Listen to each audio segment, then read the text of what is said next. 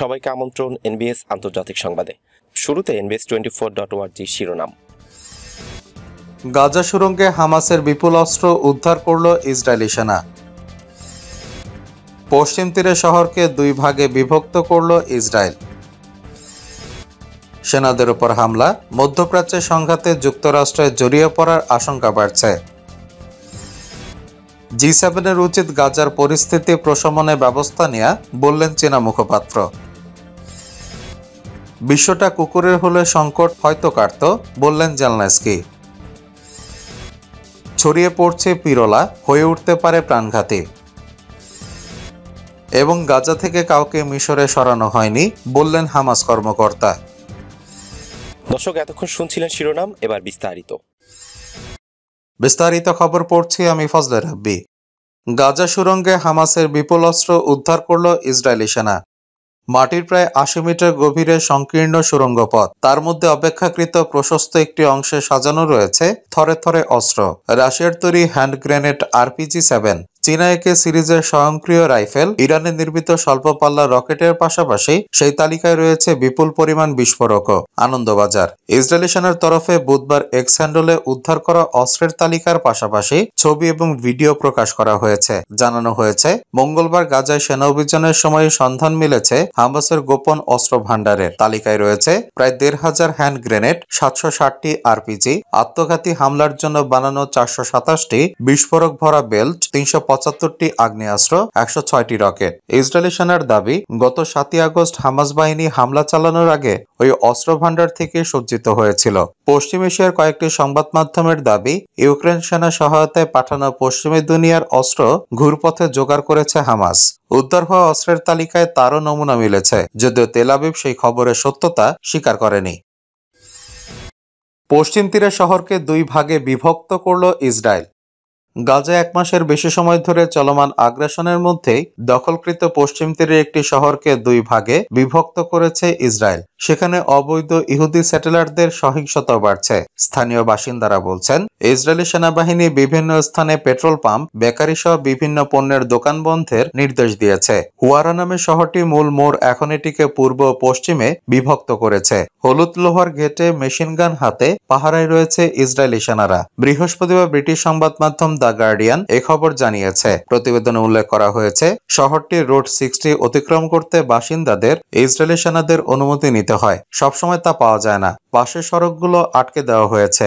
একসময় হেঁটে কয়েক মিনিটের দূরত্ব থাকলেও এখন কয়েক ঘণ্টা লাগছে। শহরটির মেয়র মইনা দিমেইদি বলেন, এটি পূর্ব পশ্চিম জার্মানির মতো হয়ে গেছে। শহরের সবাই সিদ্ধান্ত নিয়েছে অবরোধ ভেঙে দোকান পুনরায় চালু করার জন্য। কিন্তু সেনাবাহিনী বলছে যে, এগুলো খোলা থাকলে স্যাটেলাইটদের আক্রমণের পুনরাবৃত্তি ঘটবে, মেয়র আরও বলেছেন। প্রথম দশ দিন বাসিন্দাদের প্রধান সড়ক পায়ে হেঁটে অতিক্রম করতে দেওয়া হয়নি। উত্তেজনাপূর্ণ আক্রমণাত্মক আলোচনার পর এখন পূর্ব থেকে পশ্চিমে হেঁটে যাওয়া হচ্ছে। কিন্তু রাস্তার পাশ দিয়ে হাঁটা হচ্ছে না দিমে ইদি বলেন। এমন কিছু কখনো আমি দেখিনি, আর তারা এগুলো করছে স্যাটেলাইটদের খুশি করতে।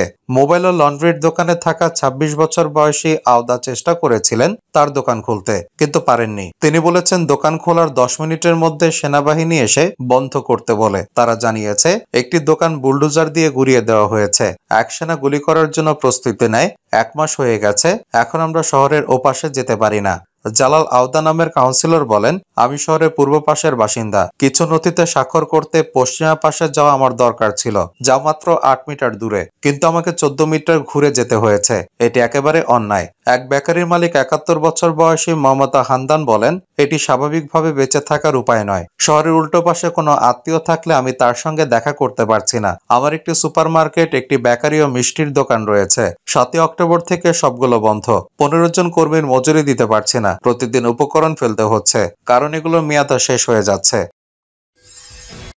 সেনাদের উপর হামলা। মধ্যপ্রাচ্যের সংঘাতে যুক্তরাষ্ট্রে জড়িয়ে পড়ার আশঙ্কা বাড়ছে। ইরাকে একটি ত্রুটিপূর্ণ ড্রোন যুক্তরাষ্ট্রকে মধ্যপ্রাচ্যে ক্রমবর্ধমান সংঘাতে জড়িয়ে পড়া থেকে রক্ষা করতে সহযোগিতা করেছে।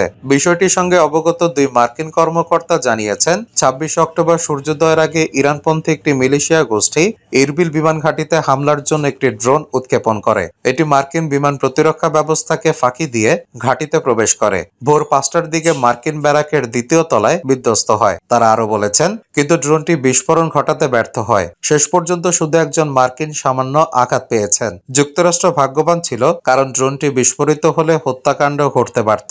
পেন্টাগনের তথ্য এবং ওই কর্মকর্তার মতে, গাজা ইসরায়েলে আগ্রাসন শুরুর পর থেকে ইসরায়েলের প্রতি সমর্থনের প্রতিক্রিয়া গত তিন সপ্তাহে ইরাক ও সিরিয়ায় ইরান সমর্থিত মিলিশিয়ারা মার্কিন বাহিনীর ওপর অন্তত চল্লিশটি পৃথক ড্রোন ও রকেট হামলা চালিয়েছে। বোমাবর্ষণে এখন পর্যন্ত মাত্র কয়েক ডজন সেনা সামান্য আহত হয়েছেন। ইরাক ও সিরিয়ায় মার্কিন বিমান প্রতিরক্ষা ব্যবস্থা অনেক রকেট এবং ড্রোন প্রতিহত করেছে। দেশ দুটিতে তিন হাজার চারশো মার্কিন সেনা মোতায়েন রয়েছে। Washington institute for near east policy think ট্যাঙ্কে কর্মরত সাবেক মার্কিন সহকারী পররাষ্ট্রমন্ত্রী ডেভিড শঙ্কার সতর্ক করে বলেছেন দৃশ্যত ইরান ও তার মিত্র গোষ্ঠী বা যুক্তরাষ্ট্র সরাসরি সংঘাত চায় বলে মনে হচ্ছে না, কিন্তু ঝুঁকি বাড়ছে।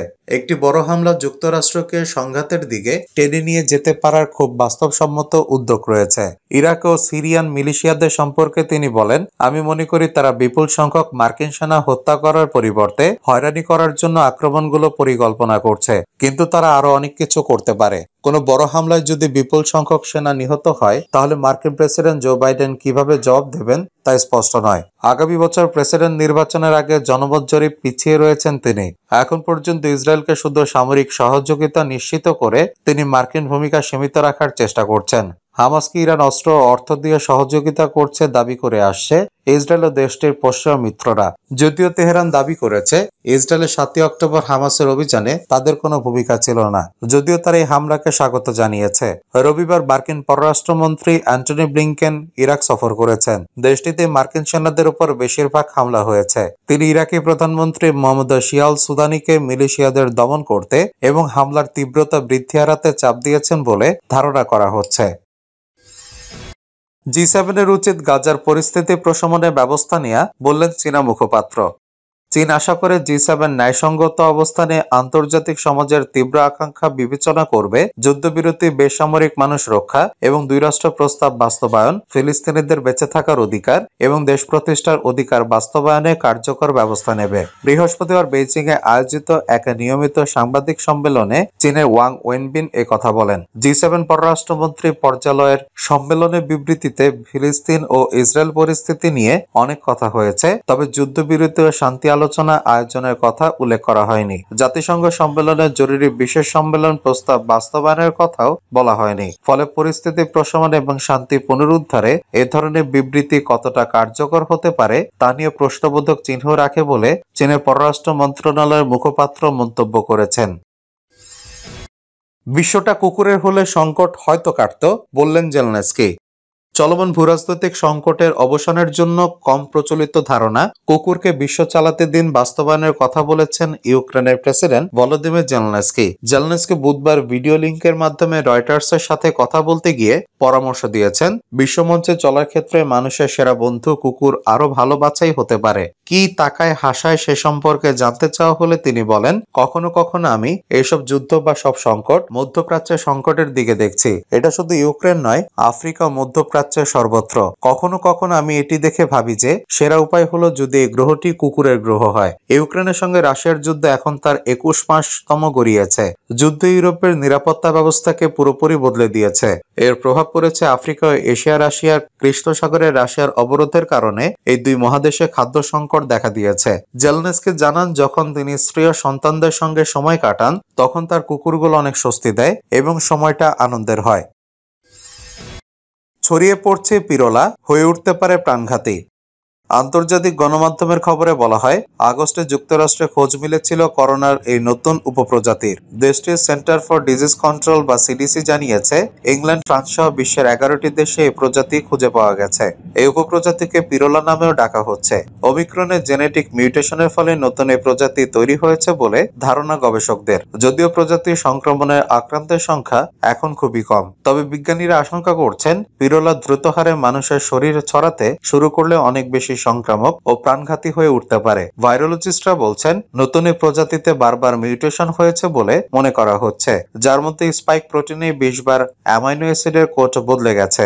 মানুষের শরীরে এই প্রজাতি খুব দ্রুত ছড়াতে পারে বলেই জানাচ্ছেন বিজ্ঞানীরা। অমিক্রণ এই উপপ্রজাতি কতটা প্রাণঘাতী হয়ে উঠতে পারে সেই বিষয়ে এখনই নিশ্চিত করে কিছু জানা যায়নি। বিজ্ঞানীরা বলছেন, এর সংক্রমণে এখনও পর্যন্ত খুব জটিল রোগ হতে দেখা যায়নি। এই প্রজাতি যেহেতু খুব দ্রুত মানুষের শরীরে ছড়িয়ে পড়তে পারে, তাই উদ্বেগের যথেষ্ট কারণ রয়েছে। আরও একটা বৈশিষ্ট্য রয়েছে পিরোলার। এটি অ্যান্টিবডির ক্ষমতা কমিয়ে দিতে পারে। অ্যান্টিবডি ভাইরাল স্ট্রেনের সঙ্গে জুড়ে গিয়ে সেটিকে নিষ্ক্রিয় করে দেয়। কিন্তু পিরোলার এমন ক্ষমতা আছে যা অ্যান্টিবডির গুণই নষ্ট করে দিতে পারে। ভাইরোলজিস্টদের মতে, সংক্রামক ভাইরাস যত বেশি মানুষের শরীরে ছড়াবে, ততই তার জেনেটিক সিকোয়েন্স বা জিনগত বিন্যাসের বদল হবে।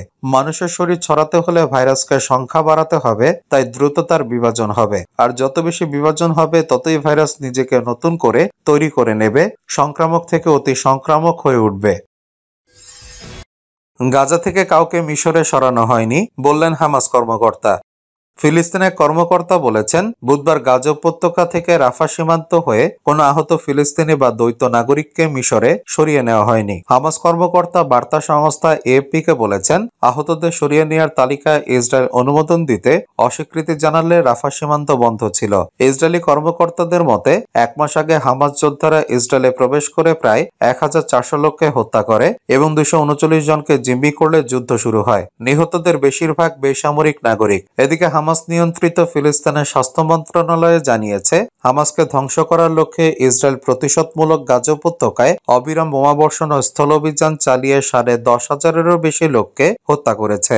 এদের বেশিরভাগই বেসামরিক নাগরিক। মিশরের সাথে যুক্ত রাফা টার্মিনাল বোমায় বিধ্বস্ত ফিলিস্তিনি ভূখণ্ডের ছিটমহল গাজা উপত্যকা থেকে আটকে পড়া বিদেশি ও দ্বৈত নাগরিকদের সরিয়ে নেওয়ার জন্য পহেলা নভেম্বর থেকে পুনরায় খুলে দেওয়া হয়। ফিলিস্তিন রেড ক্রিসেন্ট ও হামাস নিয়ন্ত্রিত ফিলিস্তিন স্বাস্থ্য মন্ত্রণালয়ের মতে, সীমান্তের দিকে রওনা হওয়া অ্যাম্বুলেন্সের বহরে ইসরায়েলে বর্বরচিত হামলার পর টার্মিনালটি দুই দিনের জন্য বন্ধ ছিল। ইসরায়েলের সেনাবাহিনী বলেছে, তারা হামাদ সামরিক শাখা ব্যবহৃত একটি অ্যাম্বুলেন্সকে টার্গেট করে হামলা চালায়। দর্শক, এই ছিল এখনকার মতো। আমাদের পরবর্তী সংবাদ দেখার আমন্ত্রণ জানিয়ে বিদায় নিচ্ছি আমি শফিউল আলম আরাফ।